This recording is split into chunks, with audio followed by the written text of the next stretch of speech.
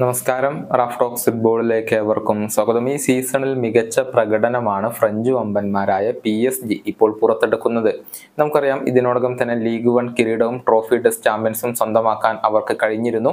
മാത്രമല്ല Copa D ഫ്രാൻസിന്റെ ഫൈനലിലും അതുപോലെ തന്നെ യുവേഫ ചാമ്പ്യൻസ് ലീഗിന്റെ സെമി ഫൈനലിലും ഇപ്പോൾ പി എസ് ജി അവശേഷിക്കുന്നുണ്ട് എന്നുള്ളതാണ്. ഈ സീസണിൽ ഇങ്ങനെ നാല് കിരീടങ്ങൾ സ്വന്തമാക്കാനുള്ള ഒരു അവസരമാണ് പി എസ് ജിയുടെ മുന്നിലുള്ളത്. കഴിഞ്ഞ സമ്മർ ട്രാൻസ്ഫർ ജാലകത്തിൽ നിരവധി സൂപ്പർ താരങ്ങൾ പി എസ് ടി വിട്ടിരുന്നു. നമുക്കറിയാം സൂപ്പർ താരങ്ങളായ Lionel Messi Neymar junior Sergio Ramos Verratti തുടങ്ങിയ പല താരങ്ങളും ക്ലബിനോട് വിട പറയുകയായിരുന്നു.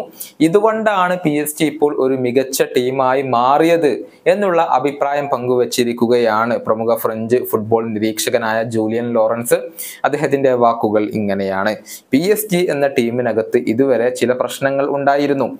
ഡ്രസ്സിംഗ് റൂമിൽ ഈഗോയുടെ പ്രശ്നങ്ങൾ ഉണ്ടായിരുന്നു. ഇപ്പോൾ മെസ്സിയും നെയ്മറും വെറാറ്റിയും ഒന്നുമില്ല. അതുകൊണ്ട് തന്നെ ഈഗോ പ്രശ്നങ്ങൾ ഇപ്പോൾ കുറഞ്ഞിട്ടുണ്ട്. മെസ്സി അതൊന്നും കാര്യമാക്കില്ലെങ്കിലും ഡ്രസ്സിംഗ് റൂമിൽ മെസ്സിക്ക് ഒരു പ്രത്യേകം സ്ഥാനം ഉണ്ടാകും ഇവരൊന്നും ഇല്ലാത്തത് കൊണ്ട് തന്നെ എംബപ്പയ്ക്കും ഈഗോക്ക് മാറ്റം വന്നിട്ടുണ്ട്. ഇതുകൊണ്ടൊക്കെ തന്നെയാണ് ഇപ്പോൾ പി എസ് ജി ഒരു മികച്ച ടീമായി മാറിയിരിക്കുന്നത്. ഇതാണ് ഇപ്പോൾ ലോറൻസ് പറഞ്ഞിട്ടുള്ളത്. യു എഫ് ചാമ്പ്യൻസ് ലീഗിന്റെ ആദ്യപാദ സെമി ഫൈനൽ പോരാട്ടത്തിൽ പി എസ് ജി ഇപ്പോൾ പരാജയപ്പെട്ടിട്ടുണ്ട്. ഏകപക്ഷീയമായ ഒരു ഗോളിനായിരുന്നു ബൊറൂസിയ.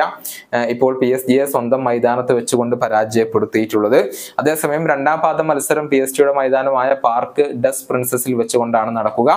ആ മത്സരത്തിൽ തങ്ങൾക്ക് വിജയിക്കാൻ കഴിയും തിരിച്ചു വരാൻ കഴിയും എന്നുള്ള ഒരു പ്രതീക്ഷയിലാണ് ഇപ്പോൾ പി എസ് ജിയുടെ ആരാധകരുള്ളത്. ഈ വീഡിയോയുടെ അവസാനിപ്പിക്കുന്നു. കാണാം.